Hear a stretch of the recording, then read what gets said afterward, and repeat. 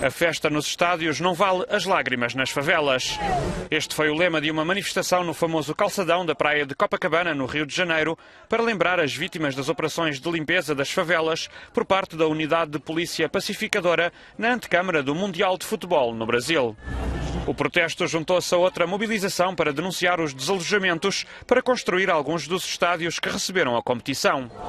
Ele está protestando contra a Copa e a violação do Estado contra a UPP mora em Manguinhos e depois da UPP já foram cinco assassinatos pela mão do Estado. Meu filho, Jonathan de Oliveira Lima, foi assassinado, levou um tiro nas costas dado por policiais da UPP de Manguinhos. Eu quero lembrar para os policiais aqui presentes que o mesmo sangue que corre na sua veia é o mesmo sangue que corre na veia do favelado, porque vocês vêm também de favela e vocês também têm que respeitar o direito do favelado, independente de morar na favela ou não. O mesmo dor que a sua mãe sente, nós também sentimos. Eu quero dizer para você, policial, que quando a sua mãe tem a notícia que vocês foram baleados numa favela, a dor dela não é diferente da nossa, não.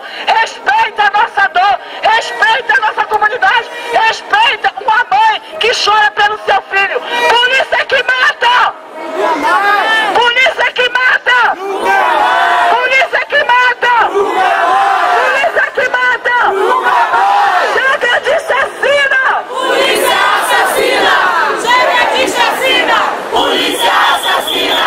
Chega de chacina! Polícia Nós estamos aqui para poder dizer: a favela vai resistir, a favela vai continuar a lutar contra esse extermínio.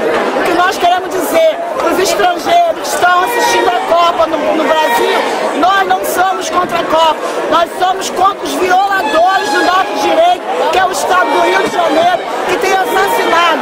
A saúde está precária, a educação está precária. Enquanto os megas eventos receberam bilhões, os hospitais, pessoas estão morrendo nesta hora. E vítimas de violência dentro da favela está acontecendo. Complexo do Alemão, todos os dias tem morte. Então hoje, essa unificação das favelas é para poder mostrar para o Estado do Rio de Janeiro que nós vamos se unir e vamos chega de assassino nas favelas. Não queremos mais uma mãe chorando, se lamentando nas vieiras dos becos, gritando mataram meu filho. Eu não quero mais ouvir um vizinho meu dizer que o filho foi morto ou foi assassinado por essa polícia. Nós queremos o fim dessa polícia assassina do Estado do Rio de Janeiro.